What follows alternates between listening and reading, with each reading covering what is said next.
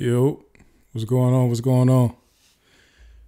We are live, active, back at it. The regular podcast. Another week, another episode, more topics, more good stuff.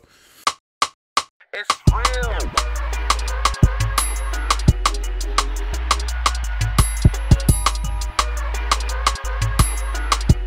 How y'all feeling, man? How y'all been this week? I'm looking up at the screen, but let me make sure I look at the camera here. How y'all been, man? I'm cool. I'm I'm, I'm all right. You know, chilling, maxing, everything in between. You know, um, it's a lot of a lot of things I want to talk about, but I'm gonna try to condense it down. Actually, there's there's not a lot of topics, but it's a lot of stuff that can be said because of stuff going on right now. Um, before I get into it, though, make sure y'all subscribe to the channel, the regular podcast on YouTube. Make sure you follow on Instagram, the regular network. My Twitter is a little bit, you know, a lot of people can't can't handle my Twitter, so I'm I'm really gonna stop sending people to the Twitter, man. I I can't even tell you how many people got me blocked. I don't even know half the people that have me, or not even half, probably ninety percent of the people that have me blocked. I feel like I never interacted with them in my life. So I don't know what, what the hell I'm blocked for on so many people's pages. I find out that I'm blocked because Shay will send me a link or something. I try to go to the page and I'm like, why can't I see? Like, who is this? What could I have possibly said to this person to make them block me? I have no idea. But I'm blocked by a lot of random people. So I'm, I'm just done giving the Twitter out, man. People just too offended by the stuff. I I feel like I'm not saying anything crazy.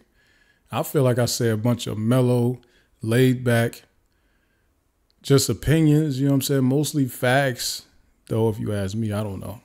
I don't know. Hey, I, I got two things that I want to get into before I get into my topics, right? I feel like is anybody else like get to the point where they so they like something so much like a snack like like food items they like it so much that they just completely try to stay away from it because they know if they get it how much they will eat how much they'll consume of it like i'm i'm one of them type of people right one of those things that i did and the reason i'm bringing it up is because of how many i just ate like in the last week or two like oatmeal cream pies bro oatmeal cream pies is one of them things for me. Like I grew up on Little Debbie's. You know, you go, you, you get you a dollar, you go to the store, you break it down. I get the fifty cent blue top pop. I'm getting the oatmeal cream pie. I'm getting a bag of Fritos. Right. That was my dollar breakdown. Y'all let me know what y'all dollar breakdown was. People done done this on social media many years, but oatmeal cream pies is one of them things that you probably won't see me with them often. And it's not because I don't like them it's because I like them too much. You feel what I'm saying? Like I I I can consume oatmeal cream pies like I like people can consume chips. You understand? Like I could just keep eating them, like back to back to back. I just like them now. I, I love oatmeal cream pie. Like it's it's like a disciplined thing to just say I'm gonna just I'm gonna eat them. I'll, I'll get at them. I get a box of them, whatever, maybe a couple times a year. But really, I shouldn't do even do that. You know what I'm saying? I feel like that's discipline because I don't just eat them all the time. I'll try to stay away from them. You know what I'm saying? I'll go to the market grocer down in Forest Park, get the big dumb dumb boxes of them, and, and run through it. But I try not to do that too often. You feel me? I want to know, like, are y'all are y'all like that with something? Is there some things that you just like me? Also, another thing, I'm like, I guess that's my personality. Period. I guess I don't like a whole bunch of things, but if I like this shit, if I excuse me, if I like it, I'll probably love it. Macaroni and cheese is another one for me. Macaroni, like in, in recent years, I just kind of had, and for these holidays where people cook macaroni and cheese and all that, like I had to just like fall back from it because of the amount. Like I'm one of the, I get an obnoxious block out of the Big Mac. Like I get a, a stu like when I was younger, like a kid, like teens and all that. When it come to leftovers and all that, the leftover days, when it come to the what you eating after Thanksgiving and Christmas and all that, my plate would just be macaroni, the whole plate, macaroni and cheese, big ass block cut out of there, and I'm eating the whole. I'm just gonna eat the plate of macaroni and cheese. That's how I was when it come to macaroni and cheese. You feel me? So that's one that I really had to just in, in recent years. I'm talking about the last five years. I'm just like, I gotta stop. You feel me? I still eat it, but I just don't eat it. You know what I'm saying? I know my limits. Or not. I don't. I don't have a limit, so I know myself. So I'm like, let me not even play with it like that. You know. I want to know if y'all like that or not. I don't think I'm just tripping. I don't think so, but I'm sure there are other people like that. But I want to know do y'all have that discipline where you say, I'm just not going to consume it because I know if I do, I'm going to go crazy with it. That's enough of that. But the, the biggest thing going on this week and what I've been following the most, it's probably not the biggest thing, but it's what I've been following the most heavy this week is week one of YSL trial. And people have been knowing it as a Young Thug trial, whatever you want to call it. The YSL RICO case is now being tried in the court of Fulton County in the state of Georgia. So it's a state RICO case, but Fulton County District Attorney's Office, Fani Willis, is who's chasing the case, right? So this has been the first week of it. This is about to be the longest trial in a very long time, probably the longest ever in Georgia. It'll be the longest, it'll be the most expensive trial in Georgia history, probably. I don't know. They don't put a number on it. Like they don't give the public how much something costs, like a trial, and how much investigations and how much the entirety of a whole case costs. But I'm just gonna go out on a limb and say, confidently, this will be the most expensive trial that Georgia, that the state of Georgia has ever seen. Maybe one of the most expensive state trials in the history of the United States. If they were to quantify how much resources and money they had to put behind this manpower, overtime hours, getting witnesses, jury selection, just just the amount of research is taken for them to try to piece together this weak ass case. Like I think this got to be has to be one of the most expensive cases in history. Right. So we got week 1. So first pretty much they started out the week with opening statements, right? The state goes first in the opening statements. So it was the, the ADA, Assistant District District Attorney. It's a black woman named uh, Attorney Love. They've been calling her, and um, she did her opening statement. That took almost the whole first day because there was so much pushback from the defense attorney, Brian Steel, uh, Young Thug's lawyer. He was objecting to so many things and it got to the point where all the defense attorneys objected to a piece of the presentation that was being used by the district attorney, the assistant district attorney, the prosecutor, that they pretty much shut the court down for like four hours to sit in there without the jury to argue about this PowerPoint that the prosecutor had. Essentially, what happened was, if y'all remember a couple weeks ago, the judge started yelling at the prosecution team saying, why are y'all hiding evidence from the defense? Pretty much, the judge said, This is your final warning. Y'all better give the defense teams all of the evidence that you have. Do it now. That's a court order. If you don't do it, I'm going to throw everything out that you didn't turn over to them. Right. So then when they get, when the trial started on Monday, what happened was the prosecution, and they were also ordered to give every every piece of media, every file, every document, every image, every video, whatever you plan on using in your opening statement, all of it. Give it to the defense. Let them have a chance because clearly this is some type of discovery because you plan on saying it in the opening statement and then trying to prove it later on during the trial, right? So since you are doing it like that, give it to them so that they can have a chance to prepare for it, right?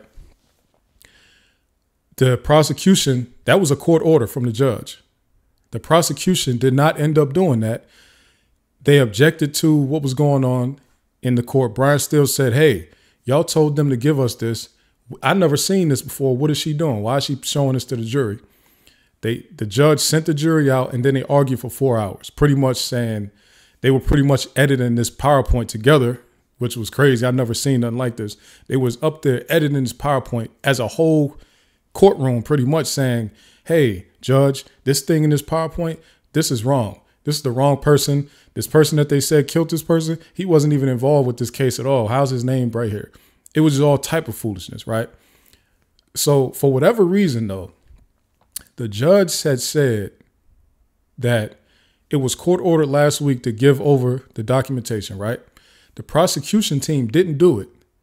But when the defense objected to it being used when the trial actually started during the opening statements, the judge allowed them to use it still.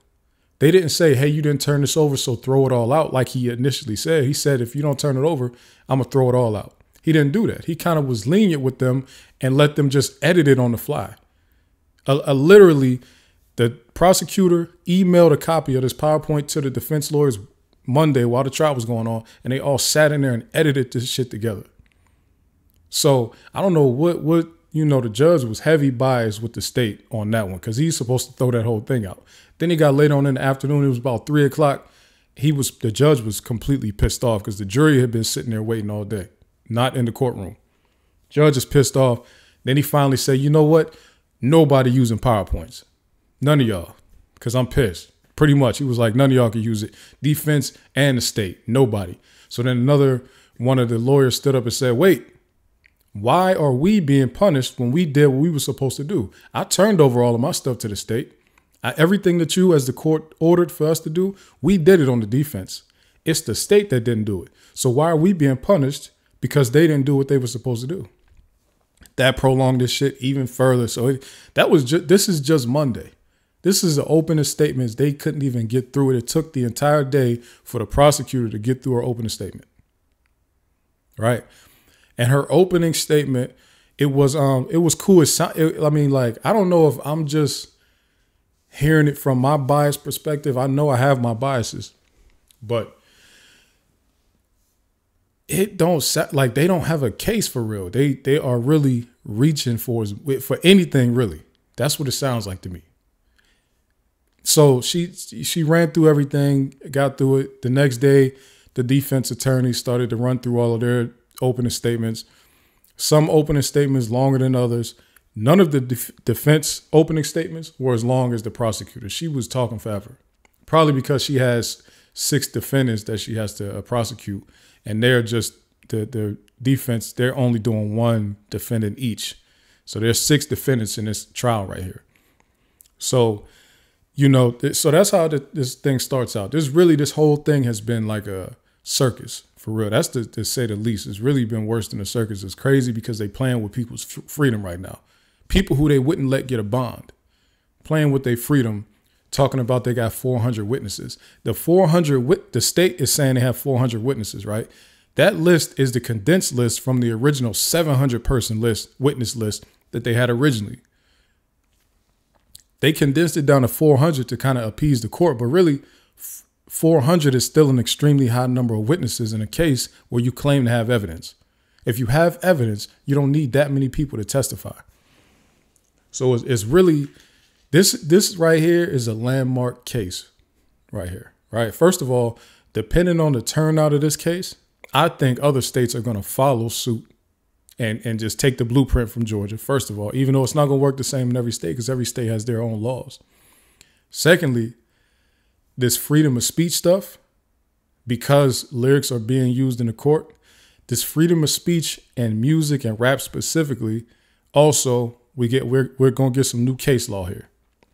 We're gonna get some new precedent being set here. Right? So that's gonna be tough for a lot of these rappers that that rap about stuff that they probably actually was involved with, right? And then just the fact of the implications on the rap industry as a whole it's almost like with a lot of the conversation being about how rap is dying, how the hip hop is falling off, and all this good stuff. If this coinciding with people saying rap is falling off, and now they have a way, they have they have an example now of how to get these rap crews out of here. If this is successful on the part of Georgia, if they are they're the district attorney Fani Willis, if she is successful in dismantling YSL, she is laying the groundwork to get rid of some of the some of the most popular rap that a lot of us love all over the nation. Because rap is founded on expressing your raw emotions about your current condition, whatever that condition is. Just a lot of people that end up becoming famous rappers happen to come from poverty. So, if you come from poverty you start to talk about your current conditions and you talk about what you have been doing to get out of poverty, a lot of times that involves bending and twisting and breaking rules sometimes. So, if she is successful in this, this does not only mean something as it relates to using lyrics in court. I don't even understand why that's such a big emphasis for people. That to me is a very small thing in the grand scheme of what could be going on right now. Right? To me, this is a worse precedent being set on people who may have committed crimes in the past, sometimes far past, then they change their life. And now, because a local authority doesn't like the fact that they changed their life and they didn't get them back then. Now they're going backwards and saying, let's go get them for old stuff that they're not doing anymore and that they're very far removed from doing. Right? A lot of the crimes that they're talking about in this whole RICO case are 10 years old plus. A lot of them, I guess, uh, I think, no, I won't say that, but a lot of these crimes are old. So it's pretty much on some stuff like you made it out you as a black man figured out a way. I, I don't need to be committing crimes no more. I figured out another way and i'm setting an example for a lot of other dudes that might be committing crimes now that can do it another way. Now it's like well i can't even change my life now. So now i pretty much need to be squeaky clean from the from from birth now as a black man. Because we we were at a point where we were saying like all right just jump in the streets get as much money as you can. If you go to jail at least you had a good run right? That was that was a couple decades ago. That was the mindset, right? Get as much money as you can. If you go to jail, you can run the jails and you can still get your money. That used to be the mindset. And then we got to the point where where people started setting, yo, this is the example of how you can get in this rap thing as a street dude. So Birdman comes in, Jay Z comes in, and then a host of other like Southern trap rappers come in. They show street dudes how this is how you become a rapper. You ain't even got to be behind the scenes no more. You could become the straight up the artist if you got talent or if you got business sense. Then they showed that. So now it's like, all right, I'm gonna do my hustle thing, then I'm gonna go transition into this music thing. And a lot of them older dudes, they never caught no cases like this. They didn't catch the case even close to this. Jay Z's biggest case is what? Stabbing somebody in a club, and it barely was a stab, you know, whatever. That's his biggest like criminal case right there since he's been famous. They not letting the young dudes do that now. Essentially, they're saying, you made it out and you did stop, but that that's not good enough. We need you for we don't like that you stopped. We don't like that you made it out. We don't like that you have millions of dollars now. We need we need payback for that. We need retribution. We need you to come back here and we're going to serve you up. So that's what I think is happening right now. So opening statements happened, right? That took two days. Then they called in their first expert witness. The state called in the expert witness. I'm, and I'm, I'm sorry because I'm, I'm going through this because of you've been seeing, I've been following this since they got arrested. Mostly because the Cleveland Ave, Cleveland Ave area is like close by where I'm at. It's not far at all. 15, 20 minutes, right? That that's that don't mean I got no inside information. It just means that it's local to me. So as somebody that's following news stories and especially major criminal cases, I'm I'm watching this one closely, right? And some of these people are like Fani Willis was a politician where I currently live now before she became Fulton County DA. So that's is close, right? So they call their first expert witness, and their expert witness is a police officer who's like a uh, detective, I believe, and he's a gang, pretty much a gang expert. Essentially, that's what that's what he is. He's like a gang expert, how to identify gangs. He knows all the gangs in the area. He knows about gangs nationally. He knows how they move throughout the company, how they spread, how they how they move throughout the country, how they spread, how they recruit. He knows the history of them, who's founded them, the different sets within larger gangs. He knows all he know he's an expert, real expert. Like he was testifying, and I'm like, all right. At first, it was kind of I was like, yo, who? how's he calling himself an expert? But then he kept going. I'm like, okay, he really is an expert. I don't know how. And I actually, um, I missed cross examination of him. I, I, I'm assuming that that cross examination from the defense didn't last long because the stuff he was saying, you want to get him off the stand as soon as possible because the information that he has, you don't want him explaining gangs to a to a jury. He's gonna make he can make anything look like a gang because they're like this nigga, this dude is a, is a real expert. You feel me? So he was even in there throwing up gang signs himself. Like that's how much he knew. He was he was throwing them up. He knew. He explaining this is what this means. This S, this Y. Like he throwing them up in the courtroom and explaining what each part of the hand means to the jury. So that's not somebody that you even want on the stand. Get him, get him off the stand as quick as possible. He was a great expert witness for the state. So they got done with that. That's about Tuesday afternoon, I think. What's today? Today is Wednesday. I'm I'm probably maybe maybe that was Tuesday or maybe that was I don't remember which day because the days blurring together to me. So then I'll give you the parts that I see, right? So then they start to call other witnesses. Excuse me. The the next I guess significant witness that was puzzling the people was a white lady who is like a, a club mom or what they call her a, a house mom or whatever at a club called the Gold Rush in Atlanta. Her she lives in Newnan, Georgia. Her car got stolen, and they brought her in for I don't know why, but the state brought her in as a witness to just say my car got stolen. It was a young black man that was about 5'7", 130 pounds. He did it.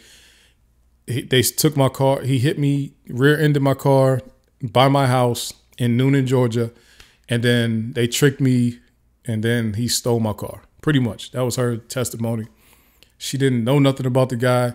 She don't know his name. He didn't look like I don't even get it, right? So then she it was 10 this happened in January 2013. So again, like I said, they're going to old crimes and like saying you nah, you niggas did this a long time ago. So hey, this is the thing about it, right? The person that they even assume did it is not even part of this case. I don't even get why the state called this lady. So then they get back and call the police officer who actually found who who came and found the car. Right? So the police officer found the vehicle at an apartment complex in um, around Hapeville or Hapeville Road or whatever, right? I guess this is southeast Atlanta somewhere. So they found the vehicle. The person who the cop seen get out of the car, he was I guess they were still driving it. The person who the cop seen get out the car, also a person that's not related to this, that's not in this case, not related to this case, not a defendant, nothing. He's just out there. One of the actual defendants in the case was just there, out there, while the car was there. Right? They didn't catch him with the keys. They never seen him in it. Nothing with him related to this car at all. So again, I don't know why they called this lady. But I, it seems like, um, from what I'm what I'm gathering, the state can't bring up things unless they get a witness to say something. Then they can question it from there and go from there. That's what it's seeming like to me. I never realized that in criminal cases, but that's what it's from what this judge has been saying to them and with these objections that I've been hearing all day. And they've been objecting like I've never seen this many objections in my life, right? it doesn't seem like the state can just bring up something and ask about it. Like one of these witnesses has to say it first. So I guess they needed this white lady to say this so that they can talk about this car and then get this car and get this other cop who actually ran into one of the defendants while he was looking for this car. Right. So the dude, the cop is now on the stand telling about how he found the car and he's like, "Yeah, I found it. Yeah, nobody on this case was in that car. Yeah, I don't I don't know. But one of the defendants actually he was there and i was un- i was an unmarked police officer i'm undercover plain clothes unmarked car they don't know it's a police officer this this young man who is now this is the part that's like kind of went viral a little bit right this young man who is um who was part of this case, he saw my car, walked up to my car, and he was very aggressive. They was trying to tell me to roll down the window, and I didn't want to roll the window down. And then next thing I know, he flashed a gun at me. He showed me his gun and pointed it at me or something like that. I was scared. I drove off. When I drove off, I called for back. I guess he had to drive off and couldn't arrest him because they're undercover. Also, his his uh, identity was concealed in the courtroom. They didn't show us who he was, what he looked like anyway. Said his name, but they didn't show his face. So I guess he wants to stay anonymous as an undercover officer, even though he said he's a captain now. Whatever. So he says the young boy pulls the gun on him and he drove off. And uh, he also said that when he was out there and the young man, he said he was aggressive and he was throwing gang signs at him, right? Now that was a key piece of that cop's testimony because he he specifically said he threw some gang signs at me, right? So then they're like he goes on like yeah, and then he I drove off, then he went and threw his gun in the bushes in a bucket in the bushes somewhere, and we found the gun later on or whatever, whatever. Never found the keys to this car. So this this stolen car is not related to this at all. So to have a, that lady come with the car stolen thing makes no sense at all. They found the car seven days later in a neighborhood in southeast Atlanta, right? So she, so then he, you know, they arrest the dude, all that. So then the cross examination comes, like, right? So the defense lawyer comes up and questions him. He's like, and this dude, um, he's like, yo, uh, so you said that this was a black attorney too. Whoever this black attorney is, is who should be speaking all the time. I can't. I don't. His name was Attorney Adams, I think. Brian Steel is just sit him to the side. Let let the black bald man. Let let Adams handle this thing. I don't know what's going on with Steel right now. Steel is Steel is annoying the judge, honestly. Like hardcore annoying the judge, like shit. So Adams comes up there. He's like, he questioned him doing this thing. Like he like, so you don't really remember uh, that much about it. Like they had they had to rem- remind you what was going on, right? With the with the police report. You didn't actually remember, right? He was like, no, I did kind of remember because this was like the last case I process, I, last case I was investigating before I became like a lieutenant or whatever he said, right? So he's like, okay, so in your police report, you you uh or you, earlier you testified that he threw gang signs at you. He was like, yes, that's what I testified. He's like, in your police report, did you indicate that he threw gang signs at you? He was like, no. He pretty much what happened is the cop just just out of nowhere, like he never has said this before, like any on any records anywhere. Like when he did his police report, when he did any type reporting, he never said that this boy threw any gang signs at him. And then the lawyer got him to say that today in court was his first time ever saying that anywhere. Like he didn't even he he went on he got that man to say on record he has never said that before that he that he saw him throwing gang signs. So then he questioned him like so as a, as a police officer and you weren't a rookie at this time you were in it about seven years you weren't a rookie um so you didn't put that he threw gang signs in the police report, it essentially he was trying to get to that would be significant in a in any type of criminal case. If somebody is doing something criminal and then throw gang signs, that's significant no matter how you flip it, no matter how you twist it, pun intended, it's significant in a criminal case. Yet you didn't feel it was necessary to throw get to to put this in a police report. All you put was that he was being aggressive. Right? Then another defense lawyer came up and said, Well, did you make an amendment to your police report later and indicate that he threw gang signs? He was like, No. So then the, the prosecutor came back up and, and did her whole thing of pretty much you didn't put every detail. Did you put what kind of hair he had? He was like, No. Did you put what kind of clothes he was wearing? He said no. She's like, Why didn't you put what kind of clothes he was wearing? So then the cop said, Well, I didn't put that because he wasn't a fugitive. We caught him immediately, so there was no need to describe his clothing. She's like, So it's safe to say that you didn't put every single detail of that day uh, about this arrest in your police report. He's like, Yeah. And she's like, but does that make it any less factual that it happened? He was like, yeah.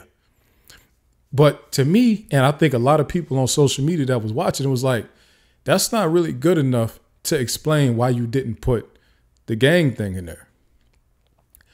For pretty much, I guess, and and all crimes that you commit, the way that they're prosecuted and sentenced, if you're convicted, is enhanced if it involves gang activity or if it yeah if it involves gang activity which is like an, an enhancer.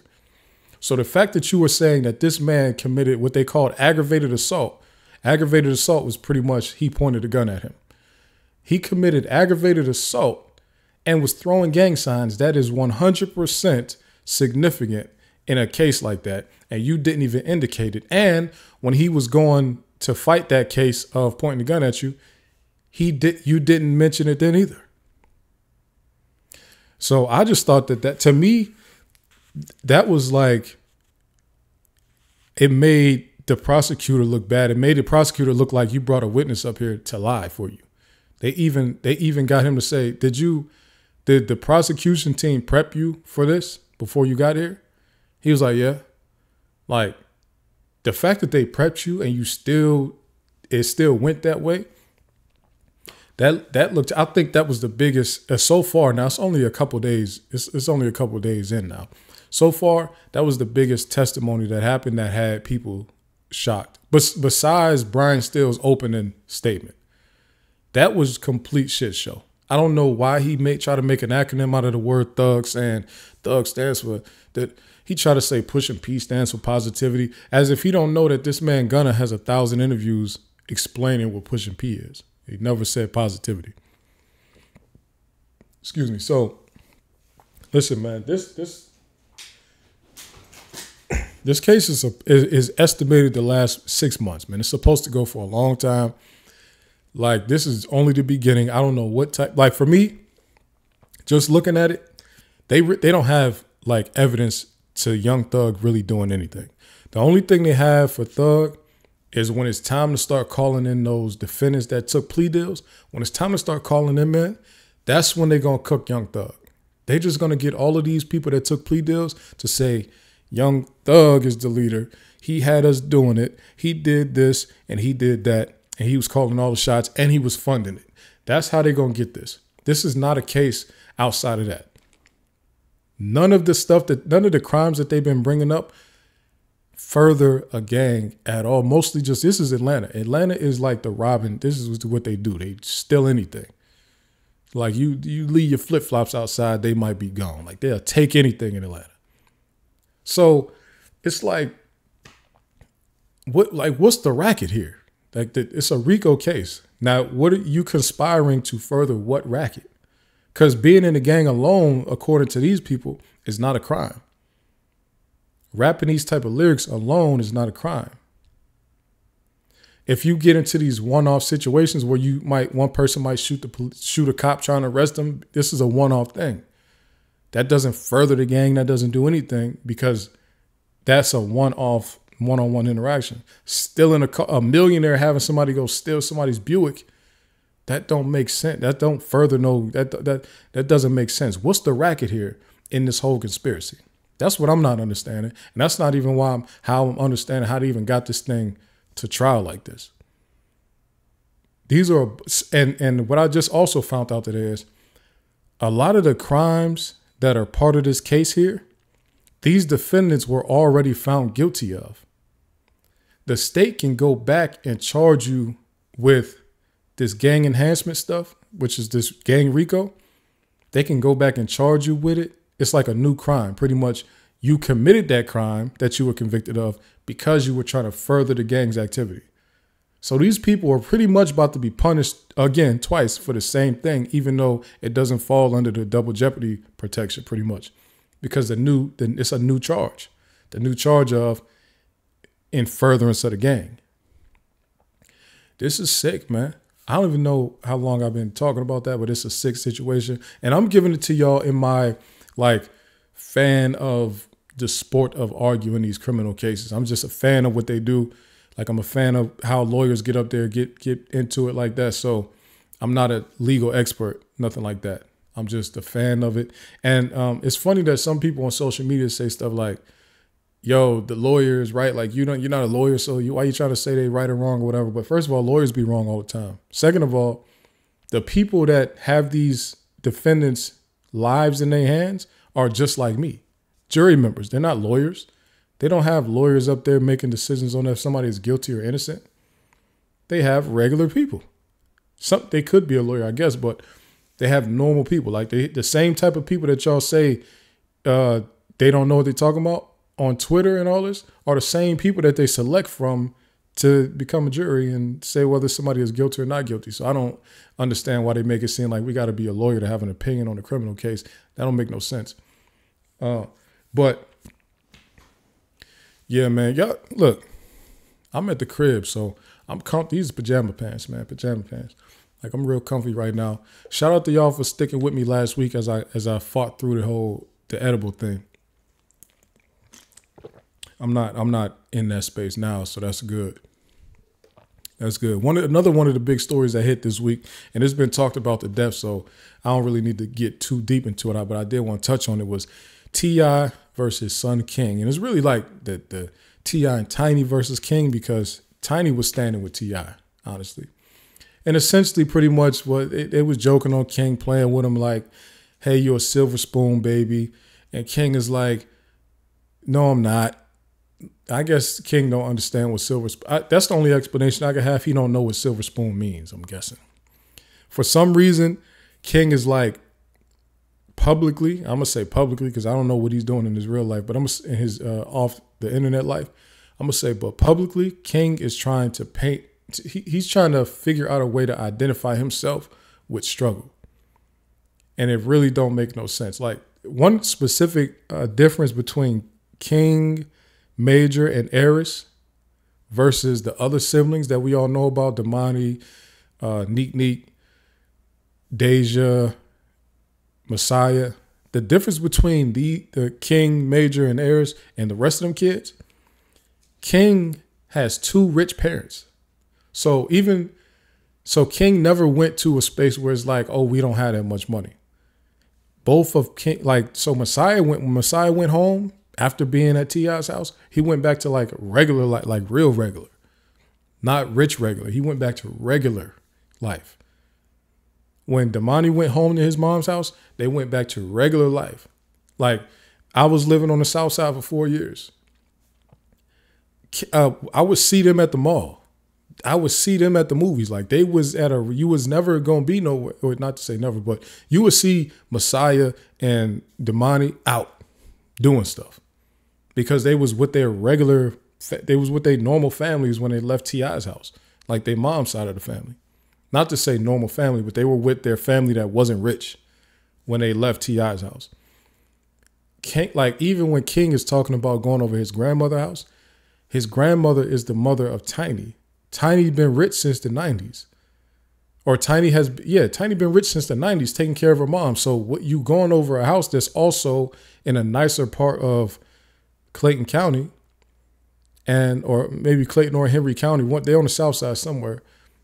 Uh, but but it's not the trenches. It's not he like you want to go to the bando by Mama house, like the, the that he is proven to everybody that he don't even know what like what what what he what's going on when he think that anything in that neighborhood where his grandmother live is a is a is an actual what you would call a bando.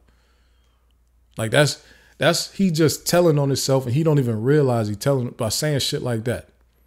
He like y'all know I. He telling his parents, y'all know I stand on business. What does that mean for you? I know a lot of people said this already, but you telling people you stand on business, and it's because you gonna take them to to a house that probably was foreclosed on in your grandmother's neighborhood. That's what you calling a bando. Like it ain't it ain't a trap house. It's just a house that y'all could sneak in the window of, and probably you and your little friends probably smoke smoke weed in the house. That's what you call an bando. Like ain't no money being made out of there. Ain't nothing going on, and ain't no fiends in there. Ain't no crap. Ain't nothing going on in there. It's just an empty house because somebody for, got foreclosed on and got kicked out. That's what happened. It ain't no type of band. You can't. I feel like look. uh, For some of y'all younger people, I'm at the point where I'm kind of I'm old school now. You can't just call anything anything. A bando is derived from abandoned house, but it ain't just an abandoned house. There's more to it to be calling it a bando. It's more to it. All right. So that boy don't even know what he's talking about when he say he stand on business. He's like, y'all want to go? He telling his parents, y'all. Ti is create the inventor of trap music. He telling him, do you want to go see a bando and a four hundred thousand plus neighborhood dollar house neighborhood? Like, come on, man, stop. But that's whatever because you know Ti also just went viral. Like, so he went viral for yoking his son up for for talking crazy like that at the Falcons game. The boy didn't got no couth. Went crazy. They went viral for that. So then now he just goes viral today because somebody played. So Ti and his son did get into it, and Ti did yoke his son up, but that's still his son. He still love his son. His son still love him. They gonna do that with each other, but they're not gonna let nobody else do it to them either, right? So in Atlanta right now, some club promoter thought it would be a funny idea to to make a club like a promoter like make a club flyer and put Ti and his son on there, but like in a joking way, like he was playing with them.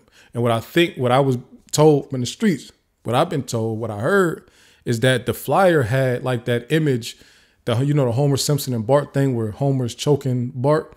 It, it- they did like a rendition of it where it's Ti choking King, and I guess they put that on the flyer, and in some type of way it got the Ti. So then Ti shows up to this club, and spazzes out on everybody. I'm about to play it actually. Let me play it. Let me play it because I like Ti went off. He went off. Here you go. Ain't nobody taking no money. Ain't nobody coming in the motherfucker. Ain't no party until I get straight. My bad, Ain't nobody coming in the motherfucker until I get straight. Ain't nobody getting nothing until I get straight. You wanna see it? You wanna show it to him or? Yeah, me. Somebody show it to him. It to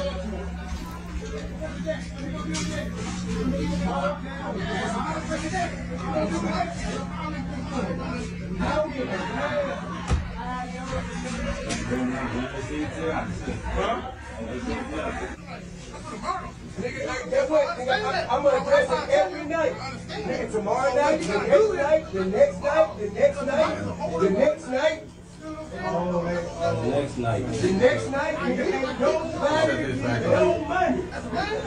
Ain't nobody getting no money in this motherfucker. Ain't nobody getting no money. Oh, that nigga have a.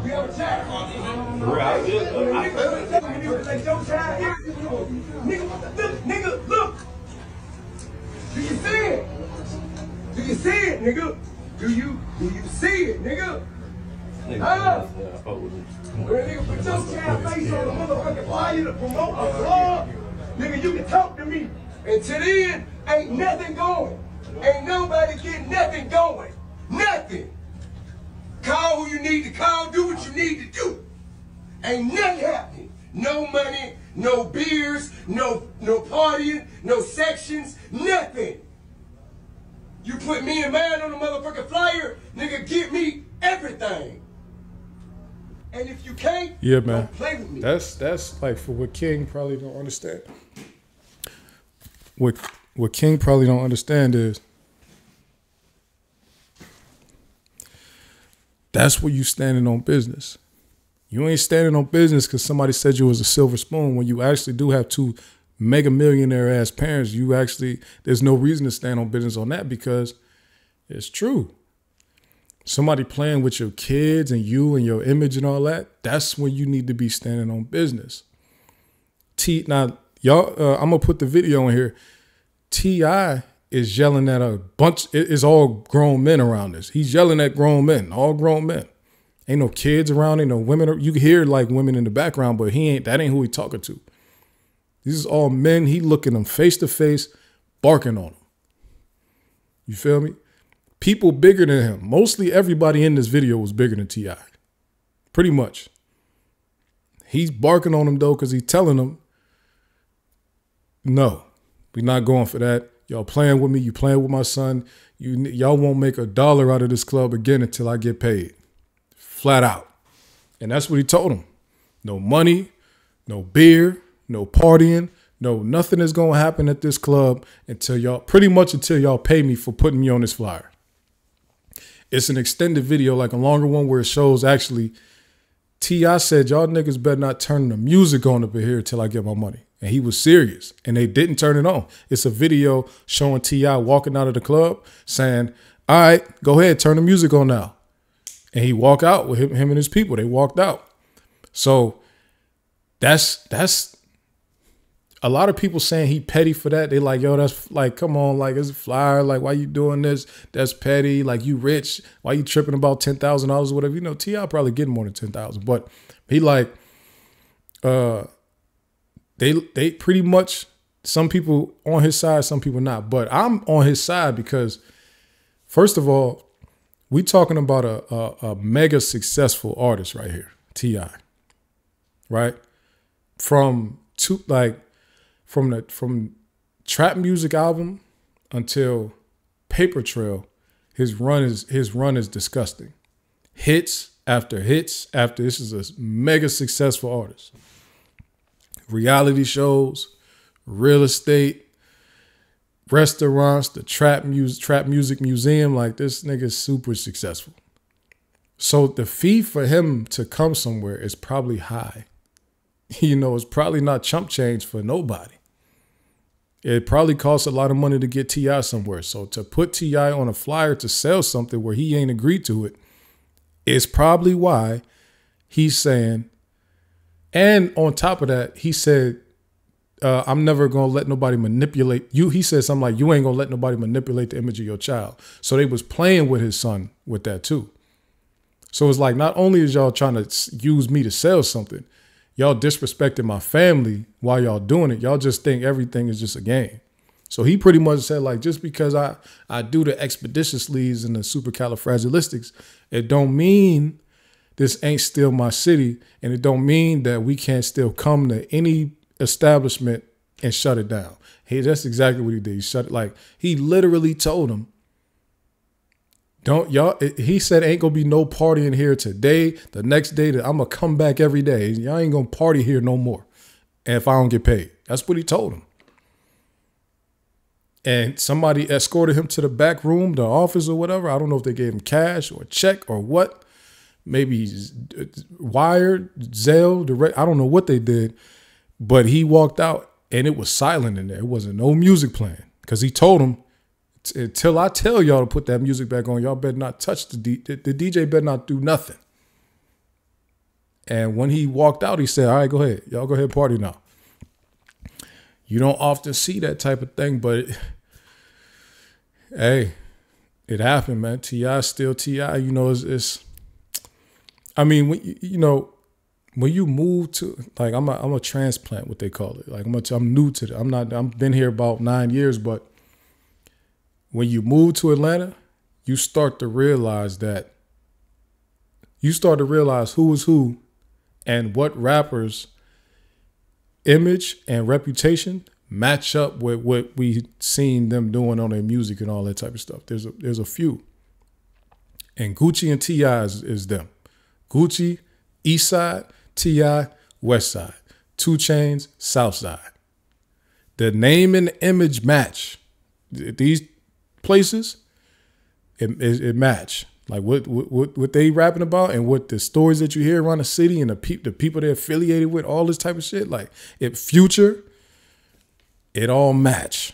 You Young Thug, as y'all see this Rico case, it all match. I like Lil Baby.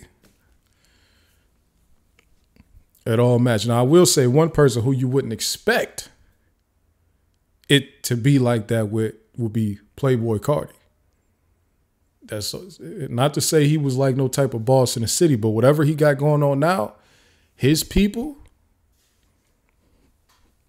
don't play with him. Like listen, you know, you learn quickly who's what and what's where, and you know what I'm saying. It's best if you if you like me when you came down here to just work and you didn't want to get in, in in nobody way, you want to stay out of the way. The best bet is to do that. Don't mix your your world with a world that you ain't ready for. You know what I'm saying? And with me, more so, it's just I'm on family time. I'm not on. I'm not in the mix. I'm not even. I'm not in nobody way anyway. Even when I come on here on my podcast to talk about these people, I'm never. I'm never even disrespectful at all. You feel what I'm saying?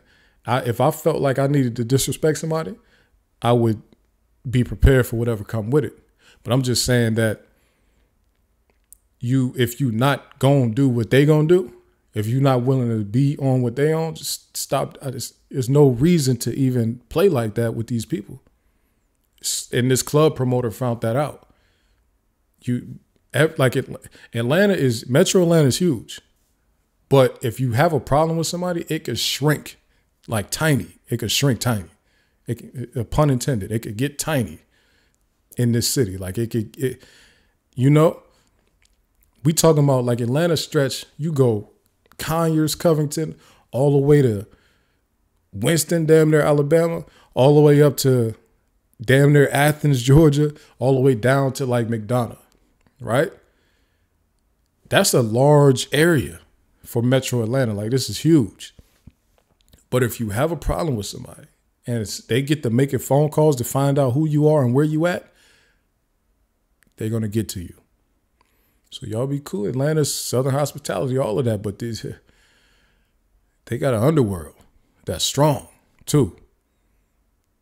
And it's, it's police is involved, politicians involved, judges, lawyers, doctors, all like shit strength.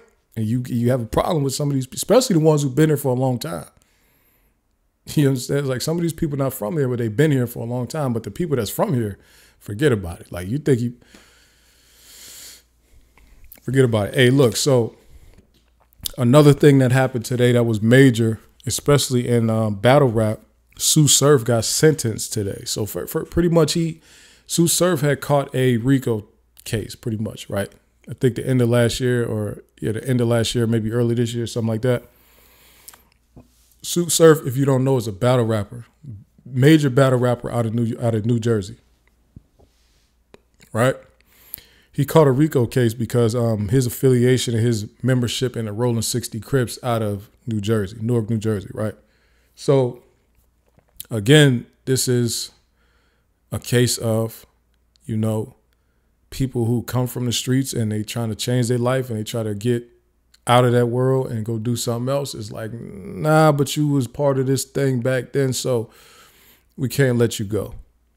So he he took a plea deal. He said, you know what, I'm gonna just plead guilty to it. Like maybe the judge will be more lenient on me because he was facing 30 years. So it's like, I, you know, he got kid, he got a kid, he got one child, I think, and he got a lot to lose. So he was just like, you know what, I'm not gonna try to fight this. I'm gonna just go ahead and uh and plead guilty to it. And then because you know, it's sometimes your a plea deal does not include the time. You know what I'm saying? I know about that too well, right? Sometimes the plea deal is just you plead guilty and we're going to ask the courts to be lenient with you. But it's really not a guarantee. You still can get a whole bunch of time. It's just up to the judge when you get to that point, right? So they uh, he pled guilty. Then today they went into the courtroom. He had a bunch of character uh, state character witnesses there for him to say like this is a good guy, community member, all this good stuff. You know, a lot of the battle rap community, some of the higher up people was there to support him. I seen Tay Roc, I seen Nunu Nails, I seen Beasley, and they said Beasley actually spoke for him. Sh- uh, Shotgun Suge was there. Uh, some of his Raw, Raw Bunch family. I think Qual showed up, his manager. It just was, you know, it's a good showing for him and all that good stuff. So the judge sentenced him to five years, which if you're facing 30 and you can get that thing knocked down to something like five just because you pled guilty, it's like it's kind of hard to not do it. You feel me?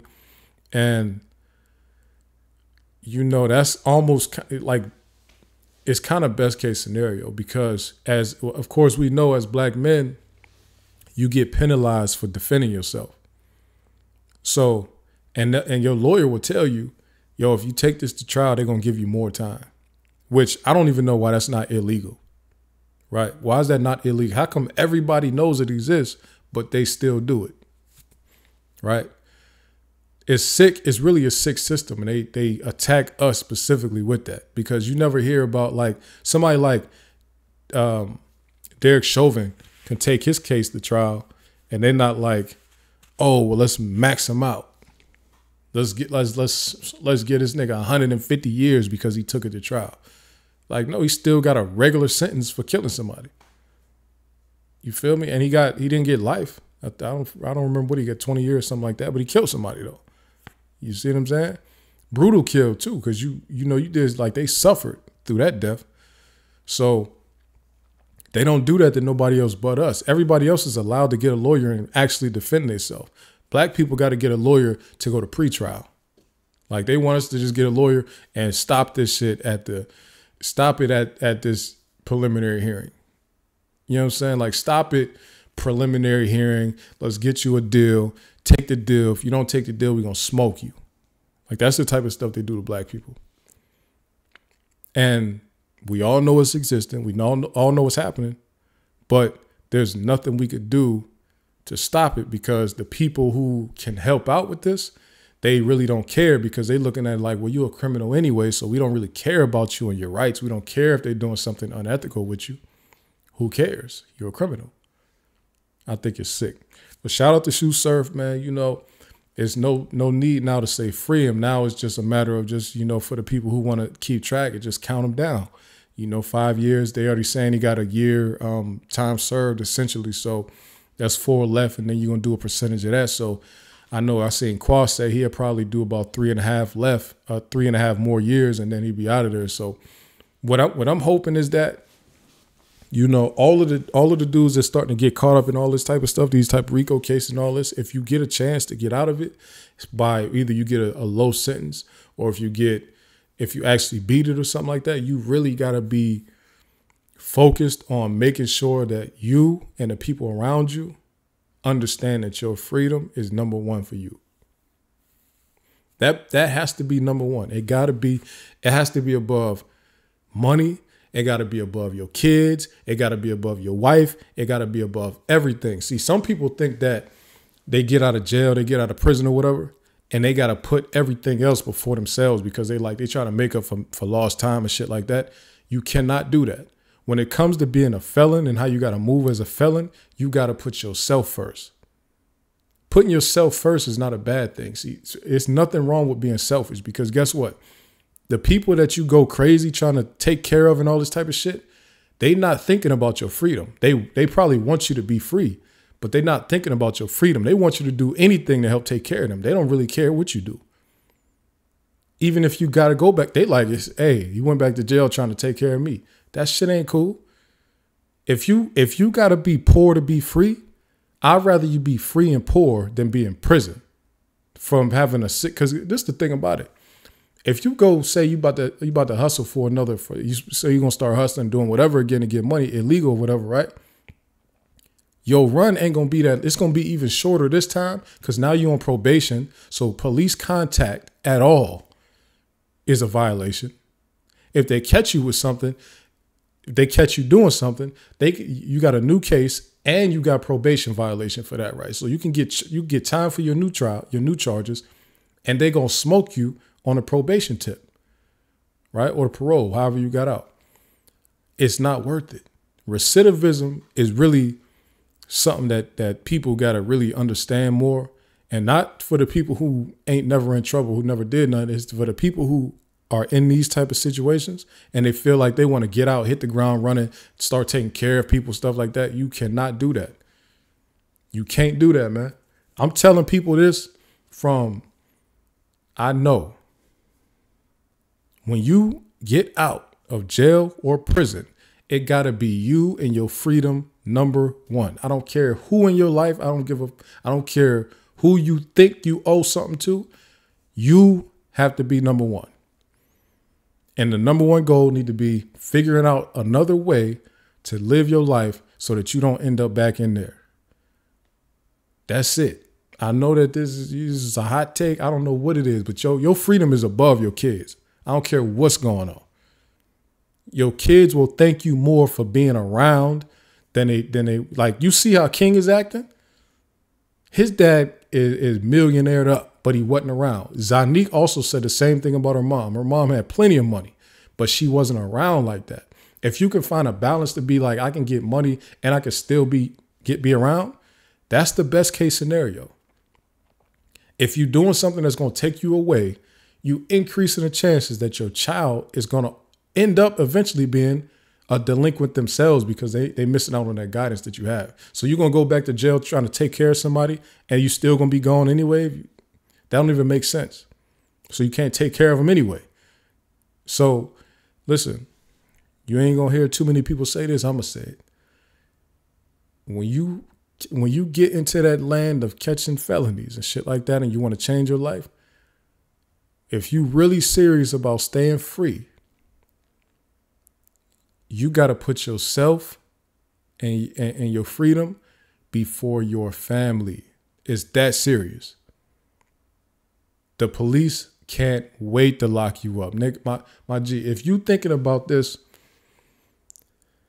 a lot of impoverished communities, black impoverished urban or suburban communities, have a lot of people that have felonies in them, right? Some of y'all don't even realize this. People with felonies know this. It's a it's a probation violation for a felon to be around other felons.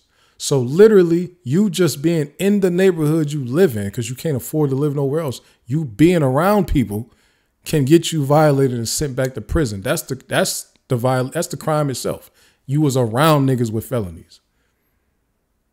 That's how bad they want to lock you back up. Literally, the environment you live in is full of people like you, and you being there is a crime in itself. Not even a crime on the books, just some shit they made up for people on probation when they got a bunch of black people on probation for no reason. So you paid your debt to society, you went to jail, now you came home and they got you on this thing where they could just violate you for anything. Being around people that are similar to you can get you put back in prison. Think about how sick, that's how bad they want to lock you back up. That's why I say your freedom is above everything. Your family, your money, your free. Look, because some people might not understand the whole freedom above your family thing. This is how serious it is. Your freedom is above your money.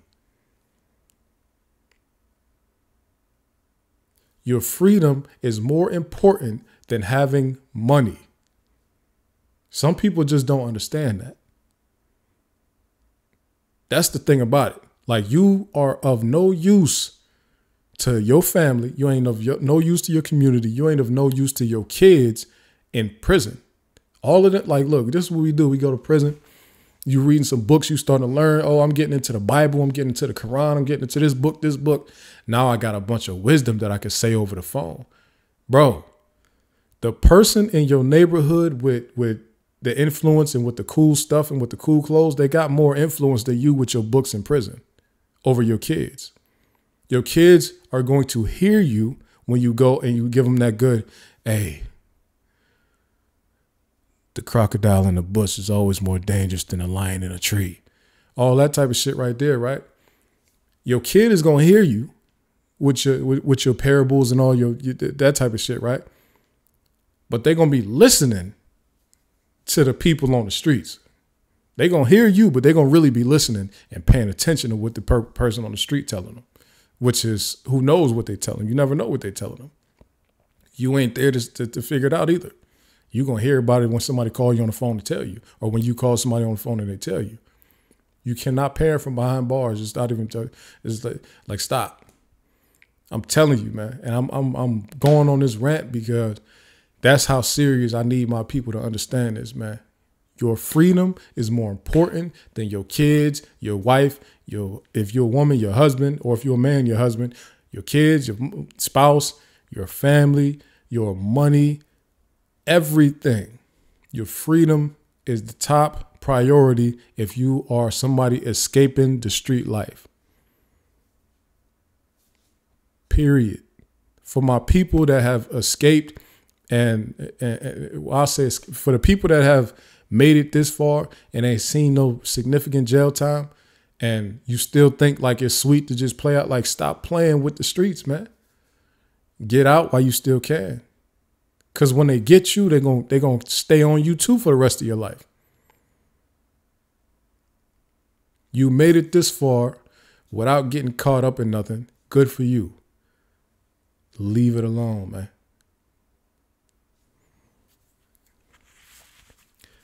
Dang, I'm trying to think. Should I discuss this last piece? You know what? I'm gonna say it, man, because this is something that I normally would. This it's about to be midnight, but I'm gonna just I'm gonna just go ahead, man. Let me go with the flow. I don't even know how long I've been on here, but I'm gonna just go with it. Let me get a couple. Let me get a swig, man. I look kind of fat sitting on this couch. It's crazy. Hold up. I ain't look. I ain't fat, y'all. I ain't fat. I'm just my hoodie. My hoodie had me looking a little, little fat sitting on the couch, but I'm good, y'all. I'm straight. But no, look, I want to talk about this um real quick. This no jumper versus fig community world thing, right? Because it's so interesting to me, and I I normally don't talk about like what I'm like the other podcasts and stuff that I'm entertained by mostly. But the biggest thing that I've been into right now has been Fig Community World, back on Fig Community, Truth in the uh, uh, Let the Record Reflect with the Apollo. Like this is shame on you. This is what I've been on. This is the world that I've been like consuming lately. Is just good entertainment. It's funny. Like these is all funny people to me. Very, very funny. It's like comedy. None of these people are comedians, but do know, but it's very funny to me. Like this, all these shows is hilarious to me, right? But one of the biggest stories going on right now on the West Coast in the media is no jumper versus Fig Community World, right? And the reason is because if you don't know what's going on with this, the people at Fig Community World, which would be AD, T Rail, Duno, Pun, were working with No Jumper last year, right? Or earlier this year, right? They was working with No Jumper. AD, T Rail, and Duno was actually on a show. They had a show called At the End of the Day.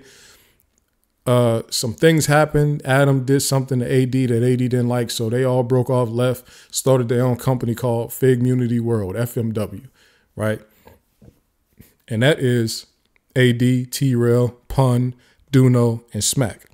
That's Fig Community World, like the head people. And then they got a bunch of people that they work with. Now it's considered an umbrella where you got a bunch of stuff going on, right? Like a conglomerate. This is like a, this is really like a, a media conglomerate being built right now, right? They have a collection of shows under what they call the umbrella. So Fig Community World, the the actual page on YouTube has Shame on You, which is like the anchor podcast that they do every Wednesday. Then they have a show called We Starving. Then they got a sports show called uh, We Starving is a food show where they go to restaurants, test out the food. Then they have numbers on the board, like their new sports show that they testing out right now. And they do the news. They do Fig Community World News two days a week, right? So they got some good content coming out. But then they also have shows on their own platforms, but they also consider that to be under the umbrella. So you got back on Fig, right? Back on Fig is T Rail, Smack, and Heather, and MacWap too. Sometimes, most times, right? Then you have Community, which is AD, Pun, Ace Boy Trey, Illa, Illa, and Hove on Thursdays. Then you have Ace Boys Worldwide, which is Pun, Ace Boy Pun, Ace Boy Trey, Ace Boy Manny, Ace Boy Rios, and then Illa. A lot of times they have Ladies Night, which is Illa, Barbie, Auntie, and Worm. Sometimes they have Let Me Cook, which is like making the biggest splashes right now. Then you also have like a satellite show, which is kind of under the umbrella, but it's not really, but it's kind of Apollo with MacWap, Keem, Tiny, and TF, right? So, am I missing anything? Um, then you got Keem with Truth in the Details. Like it's all, and you have uh, which is not really on, on the umbrella, but it's um, what's the show called with uh, the Congregation with Tiny and, and Drebo. But anyway, so I'm I'm fully I don't watch all these shows, but I'm fully like aware of what's going on. Right, I watch a lot of it. I'm not I don't watch everything, but I'm I'm, I'm aware. Right, so essentially when the FMW dudes that was on at the end of the day, T Rail, AD, Duno, when they left No Jumper, it was pretty much like a, a soft beef, like kind of a beef, but it was like a cold war at war at first. They was like throwing little shots at each other, little subliminal stuff. There was some F No Jumper stuff at the shows back in um, March or May, whenever that was. I think it was May they were saying T Rail went out just out of nowhere, just like F no jumpers. So then things got a little bit tense for a little bit. Then the FMW dudes, back T Rail and them, they they stopped saying anything, and then Adam started just going in on them, right? Start going in on them a lot, bombing on them, just saying whatever, saying all type of stuff. And then you come recently, they beefing and all that. It, people who who care about this, or they know what's going on. So essentially it came to a head this week where some where Ace Boy Pun and the crew that he was with this day, Ace Boy Pun, Trey, Hove, Mark Nasty, all it like they ran into somebody that was up at no jumper while Adam was talking crazy. And they approached him. And this guy is actually a major clothing designer out of out of LA, right? Name is Desto Dub. Awful lot of cough syrup. If y'all seen rappers wearing this stuff, like his stuff is big. He doing he doing his thing out there in LA, right? And actually, he about to put this puffer coat out. I want that joint. I gotta see how much it costs though. I ain't just about to blow every blow a bag on a, on a, if it's a crazy price. But I like the way it looked though. But so they run into Desto Dub. Pretty much it run into. They pressed him. He got scared. Pretty much like he was shook. He was out. He was pretty much out of there. He didn't want to talk. He was backpedaling, like pleading for his pleading, copping pleas, all that he like, yo, I ain't got nothing to do with that. Like I'm a businessman. I don't, I don't, I'm not in that. Like, leave me out of it. So pressed them, some fan recorded it, so we all got to see it. It looked kind of bad, right? So then after that, Adam pretty much went did a whole live show with uh, Wack 100 where he waved the white flag. He said, "I don't want nothing else to do with this. I want to stop it. I don't want to. I don't want to go where this is about to go. I'm hearing stories about where this can go with these organizations, which he pretty mean gangs, where this can go out here, and I don't want it to go there. And I know that I'm gonna just take responsibility because I'm gonna be blamed for it wherever it goes. So I don't even want like, please stop. I'm waving a white flag. Adam said, "F that." But I do want people to understand, like, every, so people who care about this already know that. I what I wanted to really talk about was who is Fig Unity World? Like, who are these people? And I want people to understand that the reason that they that what they're doing to me is so significant because these guys who ended up getting into podcasting and doing streaming and all this type of media stuff, this is a rare occurrence for what's going on. Like they keep on calling themselves like the West Coast version of this, but I think they are not giving themselves enough credit. These dudes are the first of their kind, pretty much anywhere in the country. They're starting a media conglomerate of all people who are former muscle in the music industry. That's that's who they are. Like if if you don't realize who they are, this is just a whole group of just that like when you when they like, oh, y'all better check in when y'all come to LA. These are the people that people check in with. They uh, they but they don't talk like that on their podcast. They joke, they have fun, stuff like that. They talk about girls and fashion and money and not money, but you know, fashion and business and just they hot topics, all that. They don't talk, they don't like tell old war stories. So a lot of people I don't think realize who they are. And I don't think Adam realized who they was because he just see them joking all the time and he just think like, oh, I can play with them because they play all the time. So I'm gonna play with them. He not realize these are the people that when people come to LA and they need favors and they need somebody to come with them and protect them and all that, these are the people that they call. Like when, when we hear when you hear about stuff happening in, the streets and somebody got robbed and somebody then had to get their chain back, these I'm not even being like figurative. These are literally the people getting people's chains back. These are literally the people helping people defend themselves when they come to LA or making sure that they're safe, making sure the gangs don't beat them up and all that. That's literally who these people are.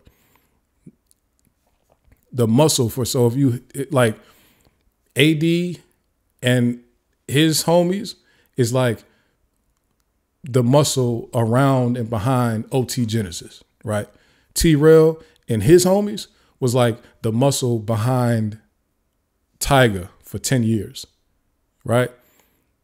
And who supposedly who well, yeah. So the muscle behind Tyga, right, made it so that Tyga could move around all this time. Like Ace Boy Pun, they have been the muscle for like producers and other people like that. Like like they done beat up people all over the industry because of making sure that that stuff was being regulated out there, right? Hove is AD's big homie. TF, Tiny, these is like the, these people, Mac Wop and his and his people, and not to say that he's the muscle for Kendrick Lamar, but he's one of his background. He's a DJ now, but his background is Compton Street behind Kendrick Lamar, right? The, this is a whole collection of people who are the people that get called when the rappers say, "Hey, I got a problem. I need help." This whole Fig Community world, from like top to bottom, is all them niggas. Just a bunch of muscle. That's all they is. Not that's not all they is. They business people. But I'm saying that that's pretty much all of them got the background in that. So when Adam is playing with them, he's thinking like he's gonna play with them the way Akademiks plays with rappers. Right? That's what he's thinking because he's not really, even though he's been in LA for a decade and all this, like he's still not really understanding who he had in his building with him. And they looking at Adam like, how how you playing with it? Like he looking at they looking at Adam like, I can't even believe you playing with us like that. We was playing, but you trying to take it somewhere else. He calling T Rail's wife a prostitute. He telling Pun, you a baked potato. You not really like that. Come to my store. My man's got the Smith and Wesson. He talking crazy to these people, and they like, they was playing at first, and now they like, yo, you really threatening us. You really telling us that see you in the streets and you gonna have your security do X Y Z like he so he so they took it somewhere else because like I said, these aren't because their background is in that type of activity. They're trying to they don't want that reputation no more. They want the reputation of we're legit media people now. We don't want the, we don't even a lot of them talk about it like it's embarrassing some of the stories that they have. They don't even want to talk about them because they like, yo, why was I doing that? Like they feeling like, damn, I done we done pressed and beat up people. Like these people done been into it with Ice Cube. And it's like they they looking at it like, yo, this is like embarrassing stories now, looking back at what they used to be doing to people. That's who this man found himself in a beef with. And he realized quickly that I have to wave the white flag. This whole crew is represented by like some of the some some of the most respected gangs in the west in, in the in the West Coast. You talking about Five Hoovers, Five One Troubles, Compton Crips, Southside Crips, Southside Crips, and the um, Lantana Block. You talking about Compton Pyrus. You talking about like there's a this is I'm just talking about all in that crew. That's who these people are. Just one insane Crips. Just big melting pot of that. So you could imagine that Adam found out quickly after that Desto Dub thing. Oh, these people are not safe to play with. I don't want this to go anywhere. They know where I live. They know what my wife looks like. They know what my kids look like. They know where my businesses are. I don't want to do this no more. I'm out. Wave the wife. I'm done with this one. Nope. And I think that's best. And I also want to say, shout out to punning them for not doing nothing to that black man over stuff that white man was saying. Even though, yeah, Desto Dub probably was laughing at some of the jokes and saying little stuff, but he didn't he didn't do nothing bad enough to where he gotta inherit Adam's beef like that. So y'all did press him. That's cool. Like y'all didn't cross no lines, I don't think.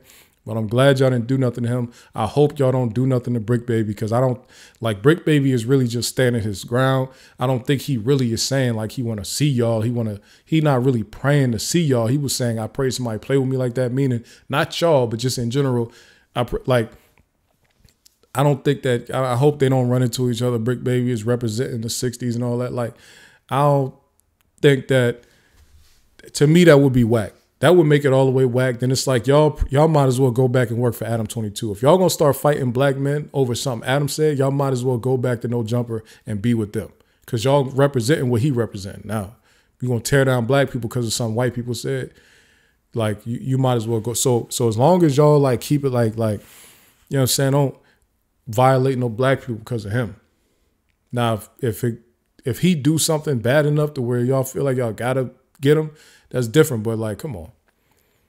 Y'all beef is with that white man. Stick to the white man, stay on him. That's the, I mean, I can't tell y'all what to do. You do what you want. But I'm just saying though, like, you know, stay on that man. Run him out of LA. You understand? Because I feel like if he was black, he would have been dead by now talking the way he was talking. So he, he even though he waved a white flag, I don't think the pressure need to stop. Honestly, niggas be like, "Oh, I don't want to do. He gonna call the he gonna call the police on me. I ain't gonna know. He gonna put me in jail. How come nobody ever be worried about going to jail when it come to hurting a black man though? Because you gonna go to jail for killing a black person too. But I don't be stopping nobody. They still go do it. Like I'm just do the time. Well, do that to white people too. Then, come on, man. Not just any white person, but ones that's violating, telling you got the Smith and Wesson for you and all that. That's a threat. That Desto Dub ain't threaten nobody. And y'all, it, it would took 48 hours to see him. So, yeah, man, get get at that man, y'all. I'm about to get up out of here. I feel like I went way for a long time. I was talking about a few topics for a very long time, man. Uh, I appreciate y'all for checking me out. Make sure you subscribe to the channel, the regular podcast on YouTube, and the regular network on Instagram. Make sure y'all subscribe, man. Appreciate y'all. Peace out.